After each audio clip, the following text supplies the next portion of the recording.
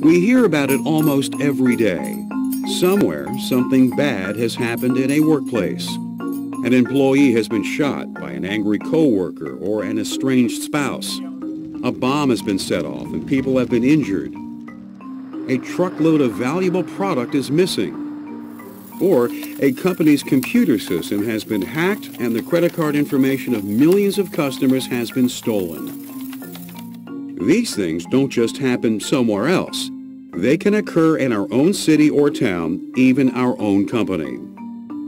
But having a good workplace security program in place can often prevent these situations from occurring.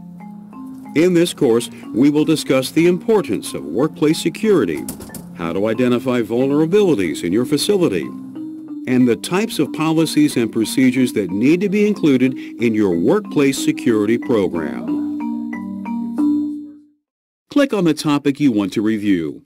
If you do not want to review a topic, press the forward arrow to continue.